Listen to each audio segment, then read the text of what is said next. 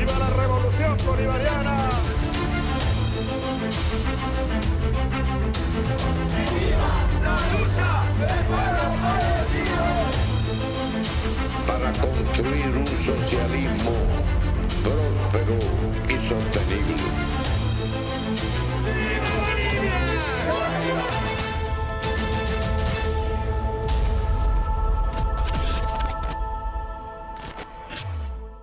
Hoy vamos a hacer un programa especial porque las circunstancias así lo ameritan. Eh, vamos a hablar de dos temas que están bastante vinculados por la ofensiva imperial que están sufriendo ambos.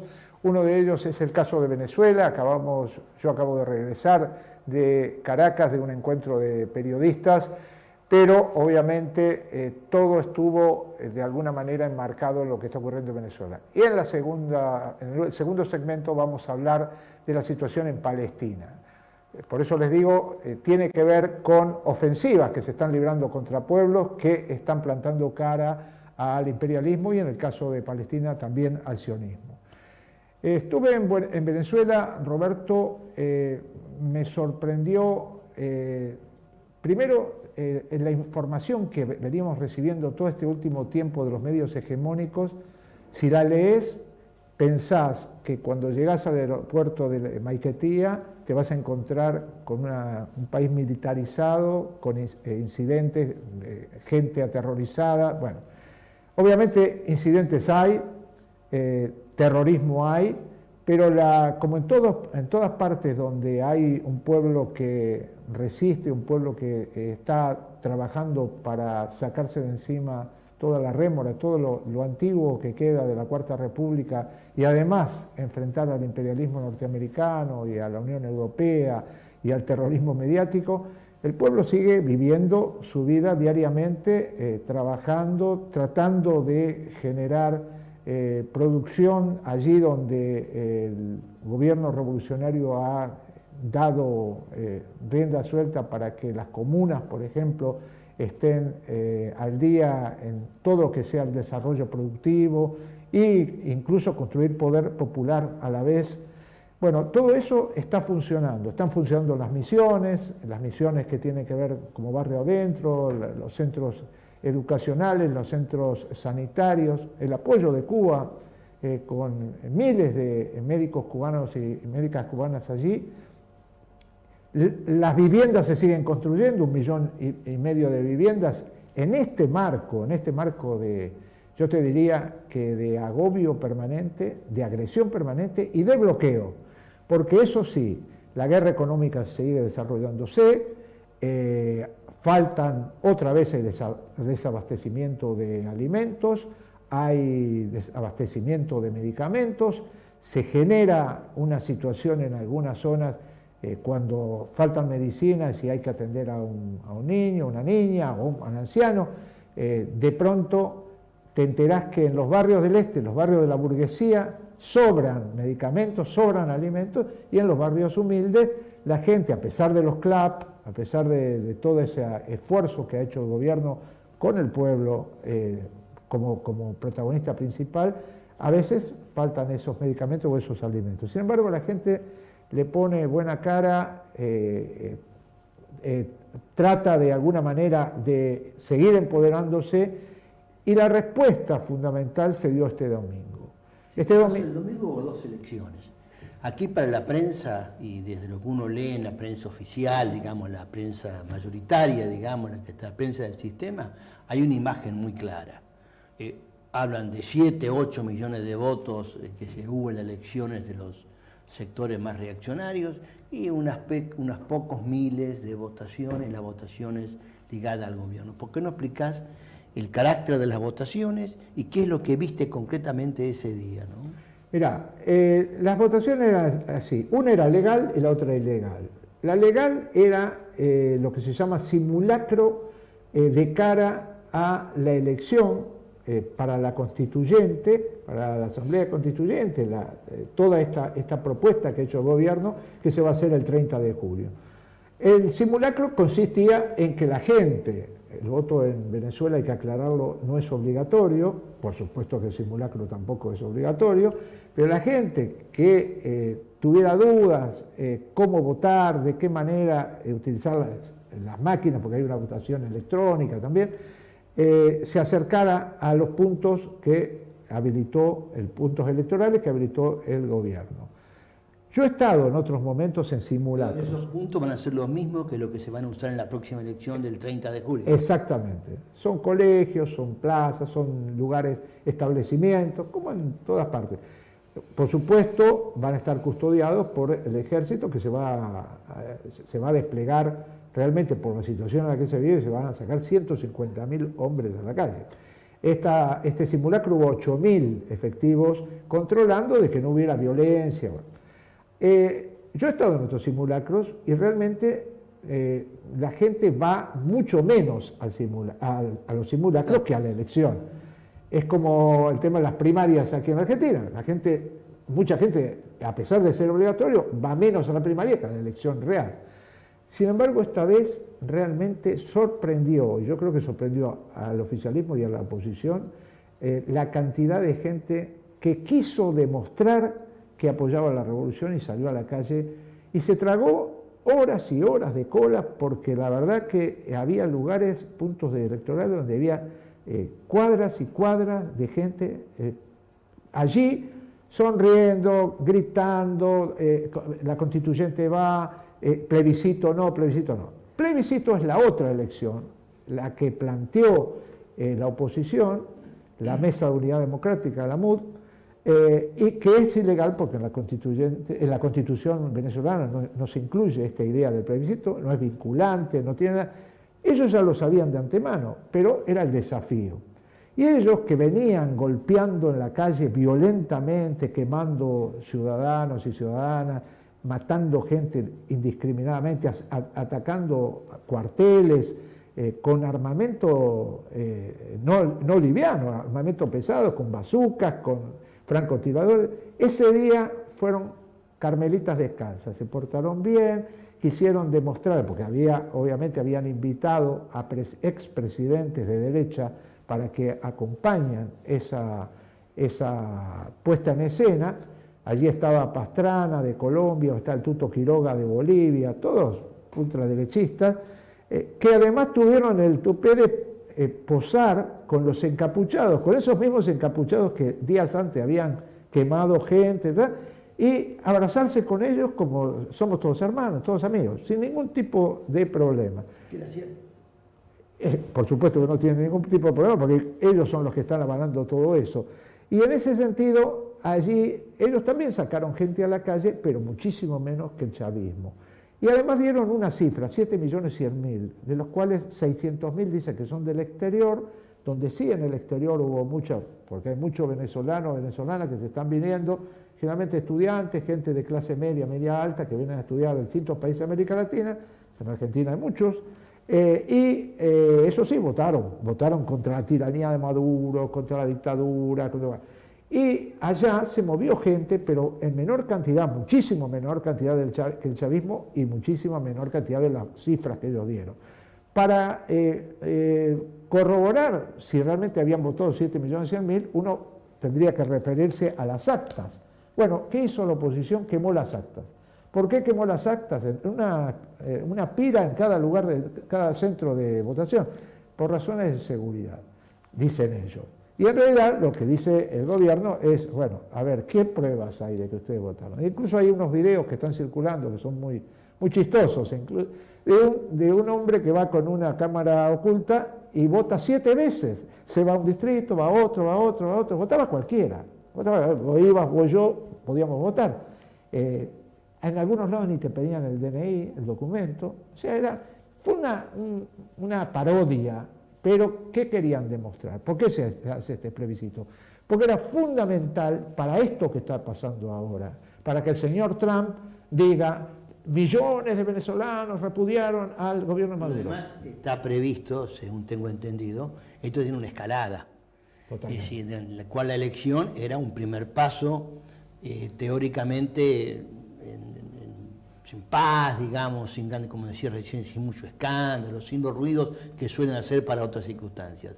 Pero eso además supone, según creo, y no sé las fechas exactas cuáles son, la creación de un gobierno paralelo con el cual se quieren presentar en, el espacio internacional. Que la elección era, para legitimar justamente el paso que están por dar en estos días. Totalmente. El gobierno paralelo se pone en marcha esta semana y también se pone en marcha junto con el gobierno paralelo, ya está, por lo menos la inteligencia venezolana ya lo ha detectado, una serie de atentados, o sea, va a haber una ofensiva muy grande esta semana, el chavismo está previsto, está en alerta roja en todos los barrios y en todos los lugares, no entran las provocaciones, pero se prepara para defenderse y también se defiende internacionalmente. Sí, como que hay dos, métodos que están usando. En algunos momentos la violencia más brutal, ¿no es cierto? Y en otros mostrarse como Claro, porque además cuando usan la violencia tienen el amparo y la impunidad de que los medios hegemónicos de todo el mundo, lo hemos visto acá, Clarín la Nación, pero en toda América Latina y en el mundo, dicen la dictadura de, Maduro mató otro, asesinó otro ciudadano venezolano. Y en realidad es al revés, son ellos los que matan a chavistas, pero la impunidad que les da la, la prensa en general les permite seguir con esa campaña violenta. Entonces van a atacar por varios lados. Ellos lo dijo Trump claramente, si Maduro sigue insistiendo en esa idea de la, constituyente, tomamos, apretaremos el, el torniquete y habrá más sanciones económicas. La Unión Europea lo ha planteado también. ¿Qué dice Maduro? ¿Qué dice el pueblo venezolano? ¿Qué dicen las organizaciones eh, sociales? Vamos a llegar al 30 de julio, sea como sea, no van a poder impedir que este pueblo se exprese y hay que decirlo también eh, claramente, Venezuela está dividida en dos, está dividida en dos. Hay una lucha de clases, es un manual de lucha de clases. En un lado, la burguesía, en sus barrios, blanquitos, eh, eh, mayamenses, bien de Miami, todas las costumbres, los gestos, las modas, y del otro lado, el pobrerío empoderado. No el pobrerío machacado, eh, de la Cuarta República, sino el, pobrerío empoderado que va a defender sus conquistas y que a pesar de las críticas que hace a la burocracia, a la corruptela, a esos chavistas que se ponen la, boina roja y que no son chavistas, lo que están esmedrando, eh, la mayoría del pueblo eh, venezolano que apoya este gobierno está, tiene claro, tiene conciencia política de que hay un antes y un después desde lo que ocurrió en la elección del diciembre del 98 cuando irrumpe Hugo Chávez.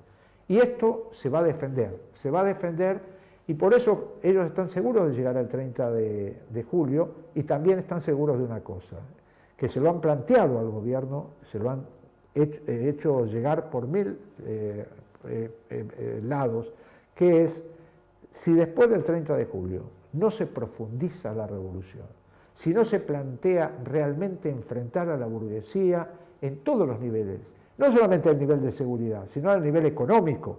Eh, si no se eh, plantea la idea de nacionalizar el comercio exterior, por ejemplo, que es una de las medidas que habría que hacer, eh, si no se plantea además ir a, fondo contra esos que están desabasteciendo, que están controlando los productos alimenticios, que desabastecen de medicamentos, o que juegan con la divisa. Eh, yo estuve en noviembre y ahora volví, en noviembre el dólar estaba a 5.000 bolívares, ahora está a 8.000. ¿Te imaginas que no sé? Bueno, 2001, 2001 en Argentina, bueno, no se puede aguantar eso, el gobierno hace aumentos de 80%, de 50% en los salarios mínimos, pero no hay posibilidad de aguantar ese, ataque. Ahora, eh, esta escalada que ellos están preparando, que ya está en marcha, digamos, tiene algunos caminos que son más o menos como perspectivas probables. Uno es ahondar el enfrentamiento interno. Ahora, si se mantiene la solidez de la defensa del gobierno por parte del pueblo, sus organizaciones y las fuerzas militares, evidentemente ese camino es muy difícil que logren avanzar. Otro camino, esto que están preanunciando o amenazando Trump y la Unión Europea, es crear las condiciones para alguna intervención directa. Y el otro camino, habiendo ya constituido ellos lo que llaman un gobierno legal, ¿no es cierto? Legal en su, en su lenguaje y en lo que ellos plantean a partir de este plebiscito que han hecho, la perspectiva de intervención de organismos internacionales. Dentro de eso, ¿cuál crees que es el camino el que va a elegir la derecha para dar estas peleas? Yo creo que va a elegir una combinación de, de varios. O sea, por un lado van a intentar de aquí al 30 desgastar eh, la moral de la población y ellos hay un objetivo que están persiguiendo desde hace mucho y no logran, que es quebrar la unidad de las Fuerzas Armadas, quebrar ese edificio sólido que se ha construido y que dura desde el, 90 desde el 99, que es pueblo y ejército, pueblo y Fuerzas Armadas. Yo estuve en, mm, en un acto con Maduro el día viernes, donde se promovió las nuevas camadas de eh, eh, policías y detectives de inteligencia. Había 3.500 en un estadio que es el Poliedro, era un acto de masas policiales, no se podía filmar, no se podía sacar fotos, pero sí se podía ver. Y ahí nos dimos, la verdad que nos llevamos una sorpresa los periodistas latinoamericanos que estábamos ahí. Estábamos con Carlos Facio de México, que me decía, es la primera vez que participamos en una ceremonia de estas características. Pero más sorpresa nos llevamos cuando de pronto las tribunas se vinieron abajo al grito de independencia y patria socialista. No eran las comunas, no eran eh, los compañeros de la corriente Bolívar Zamora, ni los de la Simón Bolívar, no, eran policías y detectives que cuando Maduro dijo eh, este es un cuerpo eh, donde no admitimos traidores, y lo decía por ese, eh, el, hombre del helicóptero, que capturó un helicóptero y tiró granadas por, varios edificios, ahí hubo un taconeo en el piso al grito de somos leales a la revolución, somos leales a la revolución. Yo dije, esto está preparado, esto, acá hay un efecto de producción, estaba con la compañera Patricia Villegas de, de Telesur, y, también estaba sorprendida y me dice, no, esta es la bronca que hay por cómo se los ha agredido. Y había 200 policías por lo menos, uno le faltaba un ojo, a una, a una chica le, habían quemado el brazo con una molotov. O sea, estaban las víctimas de una agresión muy particular que en general la vemos al revés, es la policía la que agrede a los manifestantes populares. No, allí la derecha agrede a la policía, trata de eh, perforarla para tratar de quebrar esa unidad que hay de las fuerzas de seguridad, las fuerzas armadas y el pueblo.